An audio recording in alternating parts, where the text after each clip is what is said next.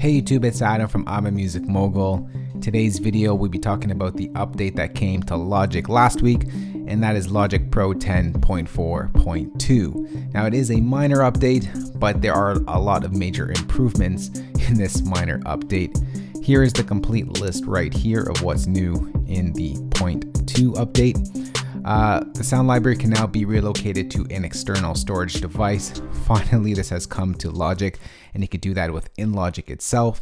A couple weeks ago, I did a video on, on how to do that with a symbolic link. Now you don't have to do that, it's done right in Logic. A lot of improvements to Smart Tempo, and I'm going to show you that in a moment.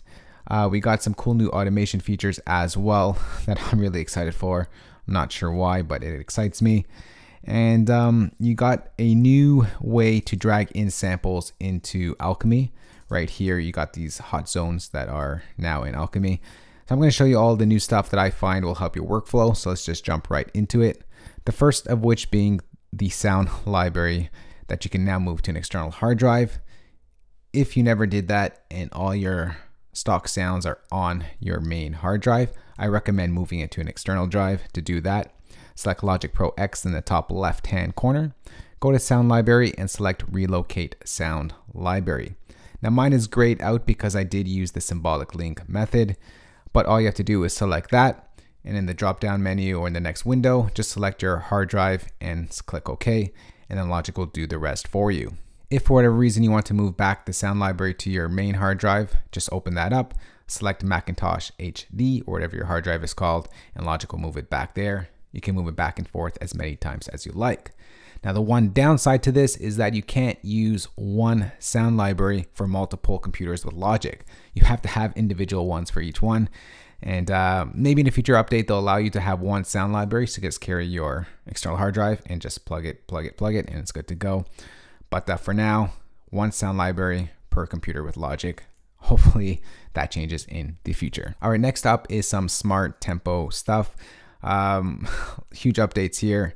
Number one, if you open up a session and you just want to set your tempo, usually reach for the tap tempo and just go from there. Sometimes you have a melody or pattern in your head that you can't quite sort of tap to. I know it sounds weird, but it happens to me sometimes. And I'd rather just play in what's in my mind and get the tempo that way. Well, now Logic lets you do that. You can record in some MIDI and Logic will auto detect that tempo that you recorded in. So to do that, go over up to your transport controls, change keep to auto. Uh, we're gonna go ahead and bring in, let's bring in the piano here. And we're just gonna go ahead and play out some chords. Let's go ahead and hit record on my keyboard. And you're gonna see that Logic will automatically map out what I'm recording and create sort of a tempo map to it.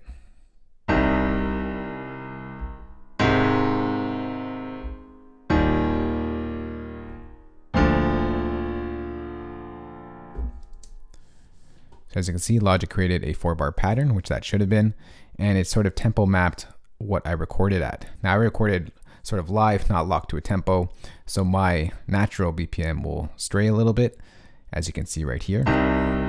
Starts around 104. Gets a little faster 105. So you may want to go ahead and quantize that if you wanted to. But uh, as you can see, we didn't have to do a tap tempo. We could just record in a pattern melody or drum pattern and Logic will automatically detect the tempo which we recorded at. And then what I will probably use, I just open up my tempo list. I usually want to go to tempo. I just select all of them and click delete. And then I'd find a tempo that was maybe the average of that or something that I like and just use the one as a starting point and then you could change from there.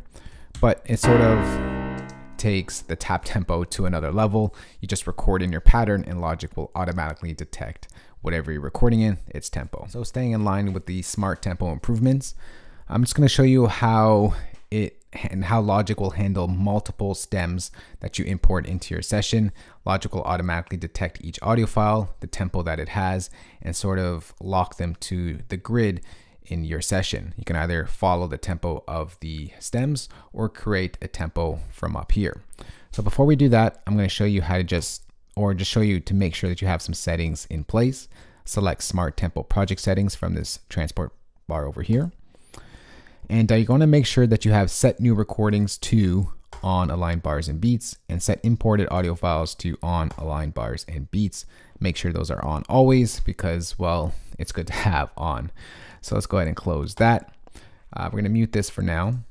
And we're going to go ahead and drag in some loops that I've created in a play pack I put out a couple weeks ago. Uh, you can see that the loop pattern is at 160 beats per minute and my session is at 112 beats per minute. Let's go ahead and select all these. We're going to go ahead and drag these in. We're going to create new tracks. I'm going to say all selected files are stems from one project. Click OK. So Logic has put that in place over here. And um, so right off the bat, you see it's perfectly aligned on the ones and at the ends. There's no stray sort of end at the audio file. It's completely locked to the grid as you would say in Ableton Live. So as you can see, Logic detected the tempo at 160 beats per minute. And right now we're playing it slower at 112 beats per minute and the pitch of those samples have not changed, just the tempo. So we can go ahead and speed that up to its original tempo. As you can see, everything is locked to the grid and no more do you have to manually adjust the regions to the grid. Let's say we want to do it a little bit slower. So that's how easy it is now to work with audio files in Logic. This is a huge update and uh, it really brings it up to par for a lot of DJs out there or remixing or remix producers out there. Just drag in your stuff, everything gets locked and you can remix and create sets from there. So really big improvements to the smart tempo and how it handles audio files. All right, next up I'm gonna show you some of the a cool new automation feature that I find is really cool. But before we do that, let's go ahead and uh, just bring up the mixer window right here by hitting X on our keyboard. And you'll see along the top, we have this sends on faders feature now. And uh, it's pretty much self-explanatory. You're essentially putting the sends, so this over here, onto the fader over here. So if I turn this on and I select bus one, you'll see that now my send which used to be on the knob here, is linked to my fader over here. So you can do better adjustments that way. If I want to adjust my fade or my bus 2, just select that and I adjust my bus 2. And that works on multiple tracks. So if I have bus 2 on multiple tracks, let's put bus 1 on this one. You'll see I can adjust bus 2 all at the same time. If I want to adjust my bus 1, here's my bus 1s. So very simple and easy to work with. You also have, if I right click, let's turn this off. If I right click on our automation track, we can do independent pan, which sort of sends a pan value as well as the uh, the volume level. And we can turn, of, we of course can adjust that as well. So right now we're adjusting our pan level. So now to the thing that I thought was really cool in automation. And I don't know if it's just me that gets excited about this stuff, but um, it's something that Logic had that really helps when you're working with automation. I'm going to A on my keyboard. I'm just going to quickly automate this right over here.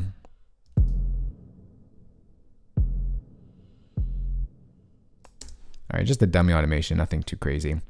But before, if I were to take this last point and try and drag it to here, it would not lock as you just saw it right there. Right now it locks. So now it gives you a little it locks to that point so you get really precise automation points. Before, this would never lock. This would kind of, you sort of have to eyeball it and it's always been a little bit off. But now this really excites me and I don't know why it locks. And that's the way I always wanted it. In Ableton Live, this is how it did it. And that's how I worked with automation in live and it worked beautifully. All right, next up, let's go ahead and um, let's just delete all these tracks here. Clean up a bit our mess that we've created create a new software instrument track. And uh, what we're to do here is um, bring in Logic's Alchemy. I'm going to show you a new way in which you can uh, import samples into Alchemy that is just introduced in point two. So we're going to go to advanced and we're going to go to file, initialize preset. And off the bat, you get this cool little thing that helps a lot actually. Uh, if you're not using a certain source, as you can see, B, C, D is all grayed out. The only one we're using right now is A. And if you're not using it, it gets grayed out. That helps out a lot. So um, I'm being serious there, not being uh, facetious or anything.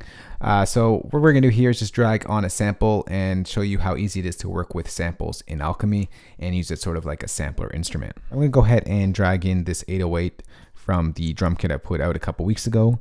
Um, all you have to do is just drag it. And as you can see, when you drag it on top of this, you get these four options. You want to add it as an additive, granular, spectral, or a sampler. In this case, I want to use it as a sampler.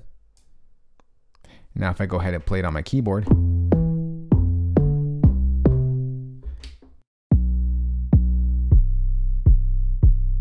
that 808 is automatically mapped on my keyboard. And as you see it right here, it's very easy just to work with samples that way. And the thing that's great with Alchemy is that as soon as you import that sample in, it auto detects its pitch and sort of stretches it across the keyboard for you, which is really cool. So that is a cool new feature to Alchemy. It makes working with sort of 808s, if you will, like this one, or any other loop pattern samples really easy to work with. And uh, that is a welcome update. And lastly, that I think will be really helpful to all of us here is the notes feature. So if I go ahead and open that up, and uh, we always had this notepad here in which we can sort of type and make notes on our session here. But now we have the ability to import pictures into here and uh, take screenshots of settings or whatever it may be, pictures. You can just add it in this notepad here and uh, you're good to go. Now, this is really useful because if you're in a studio setup, sometimes the analog gear, like the outboard gear that you have, there's no presets. You always have to turn to the exact setting. So if you wanted to sort of take a snapshot of what you had and what you used in the session, you just take a picture of that and you sort of put it right here within the project and everything is sort of combined and linked nicely. So that's a really good addition. Uh, also, you could just take screenshots as well of certain settings in your whatever you want to take a screenshot of. So if I just go here, I'm to go ahead and right click right over here. We're going to go to capture selection from screen. And let's say we want to just take this over here and then it gets added over here. And you can even mark that up or do whatever you need to do it, but at least that screenshot is right here. And uh, the bigger you make it, the bigger the image will be. That's pretty cool here that you can save screenshots just like that in your notepad. Like, like I said earlier, it's really nice to have that if you're in a studio setup and you're using outboard gear and you want to take a picture of what you used in the session and you can place it right in notes so it's always there whenever you open it up just take it on your phone and then bring it into uh, to your notepad right over here so that's a nice addition to have not major but uh, a nice little touch that now we can have in logic so that's pretty much all the cool stuff that you should know about Logic's latest update, the Point 2 update. Uh, if I did miss anything, let me know in the comments below. But uh, for the most part, the smart tempo is really greatly improved, so take a look at that. Working with samples in Alchemy has improved. It's a lot easier to get those in. And uh, of course, if you don't like to use the tap tempo, just record in a MIDI idea and Logic will auto map that tempo for you. Uh, so a lot of great features. It is a minor update, like I said, but a major one in a lot of ways. Let me know what you think about the point two update in the comment section below. If you just want to chat, let's talk below as well. And if you are new to I'm Music Mogul, remember thumbs up, share this video, and of course hit that subscribe button for more good videos like this one. I'll talk to y'all soon. Later. Peace.